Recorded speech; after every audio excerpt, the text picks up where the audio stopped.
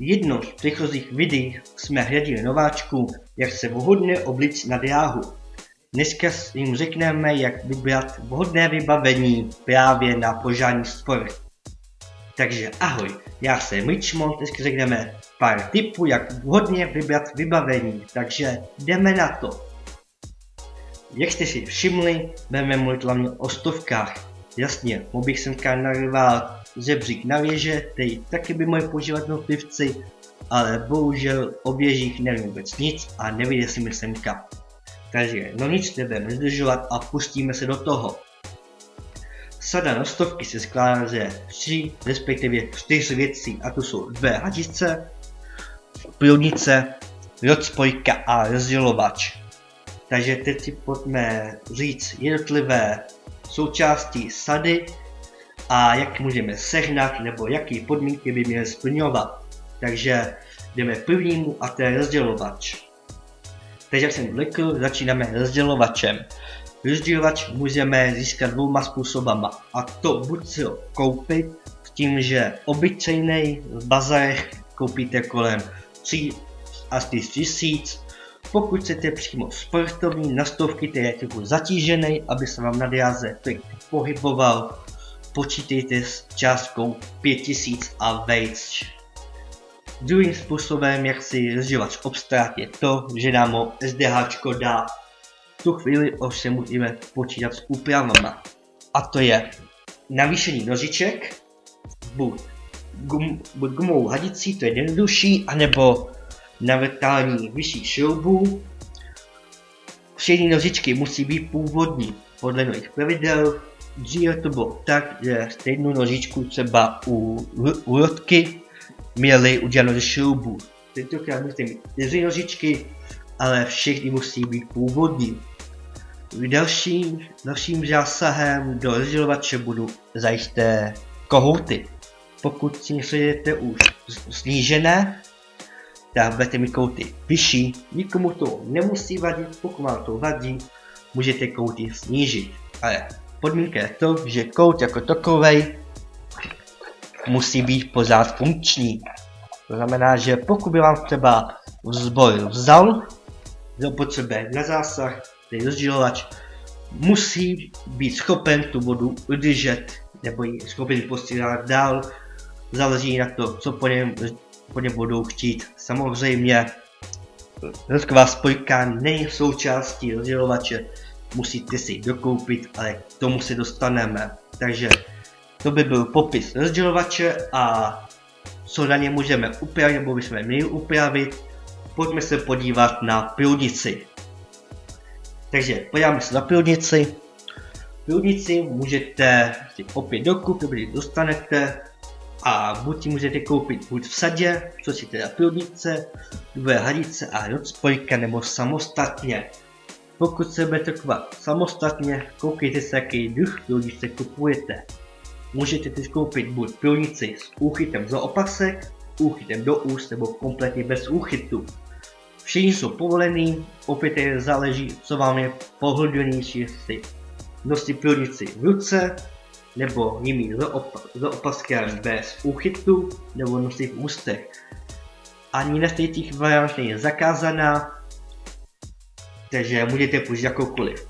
Dalším důležitým prvkem je váha. Průdnice by měla mít půl kila, může mít víc a nesmí mít méně.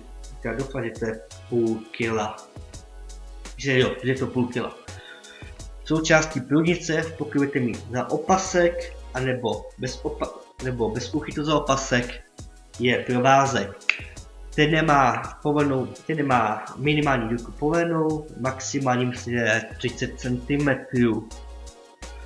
Samozřejmě provázek nemusíte používat, můžete ho sundat a průdnici, když to nechali za sebou, budete držet v ruce. Ovšem tady bych doporučoval, pokud budete držet ruce, jste takhle, anebo takhle. Pokud budete držet takhle, tak rozhodčí to může být tak, že průdnice je zapojená. Jenom takový tip. To je asi všechno, co bych vám o průdnici mohl říct opět. Musíte si jak vybavit, upravit, ale pořád musí být tu funkci, kterou průdnice má. teď řekneme co o tom nejmenším vybavení a to je. Rod spojka se nějak neupravuje, jasně, Jediné, co můžete, je maximálně trochu gumičku upravit, aby vám to jiný dřela. Do zubu jako takových moc nezasahujte. Jak víte, tak rodková spojka, na rozdíl od dinkový, vypadá jinak, má tři zuby, takže zapojete na tři zuby, ne na dva. Já si všechno, co by vám o spojce mohl říct, opět můžete ji koupit samostatně nebo v sadě. A my se jdeme podívat na hadice. Asi tu nejří součástí jsou hadice. Hadice se prodávají po párech a stejně jako u pilnice máme několik typů. Buď se liší spojkama, anebo se prodávají bez spojek, jenom samostatní stuhy. Na to si dávajte pozor, pokud budete kupovat hadice, ujistěte se, že kupujete hadice se spojkama, nekupujete jenom stuhy. Pokud si chcete složit vlastní hadice, sestavit si je, tak samozřejmě musíte koupit stuhy zvlášť a spojky zvlášť.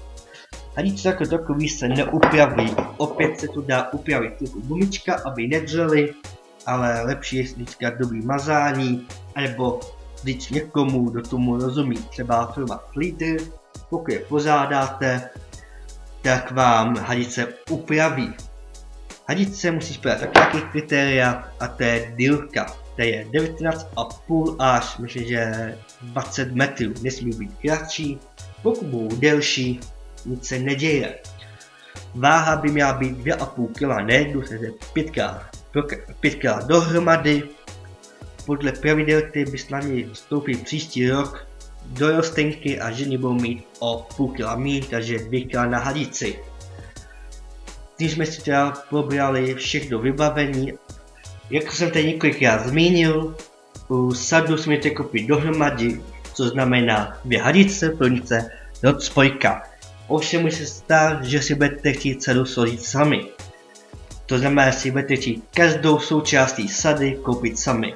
To znamená, že dávajte pozor, aby spojky byly stejný. To znamená, aby prostě spojka na pilnici fungovala na hadice a rodka fungovala do hadic. Hadice jako takový budou mít spojky taky stejný, pokud si koupíte stuhy nebo spojky zvlášť. Takže pokud budete chtít kupovat jednotlivé proprietry, nebo řekněte si, jo, mám hadice, potřebuji k ním pilnice a spojku, koukejte se na typ spojek, aby vám opravdu seděly. Pokud vám nesedí, tak je nejlepší nebo nejjednodušší a nejlevnější koupit nové spojky a vyměnit je. Tím se dostáváme k něčemu, co bych rád ukázal v nějakém a to je skládání nebo sestování sady. To znamená, že si koupíte samotné stuhy, průdnici, rod spojku a spojky zvlášť. U rod spojky ani průdnice se za žádná velká úprava dělat nedá, u rod spojek je problém vzít staré spojky nebo pokud je tam nemáte vůbec a navázat je. Nejbezpečnější je navázat tím, že spojku zanítujete do spolu se stuhou a potom ji kovovým diátem utáhněte a obletíte páskou kvůli poškrávený nebo říznutí diátem. Pokud ovšem nemáte nítovací klstě, postačí vám obyčejný elektronický svorky. Ovšem použijte ty pevnější a musíte i počítat s tím, že, že ty spojky se budou protáčet, proto je dobrý třeba na stůl přilepit dříve než je utáhnete svorkou. Ale to ukážu snad nějakým jiným videu, jak taky rychle si upravit hadice pro sebe. Hodí to třeba, když jste na závodech a zdobí se vám zub u spojky a vy nemáte nítovací klestě. Co byste teda měli nosit, protože se to může stát. Takže to by byl jenom takový malý tip, jak upravit spojky. A no nic, jsem že jsem kecal dlouho, jdeme to ukončit. Tak, jsme na konci této videa. Jak to zhodnotit? Vím, že tento video pro ty, který běhají po žádný sport 5, 10, 15, celý život, nedává smysl. Protože už ví, jak ty radice vybrat a co oni chtějí. Ovšem pokud jste nováčkové, musíte ten svůj styl, ten druh hadic najít. Takže pokud chceme kouká nováček, nebo někdo do přemysl pořádný sportu, tak já děkuji za to, že jsi za to podíval a pokud vám se video líbilo, dejte like, odběr, komentář. Myslíte všechno, mějte se fajn a ahoj.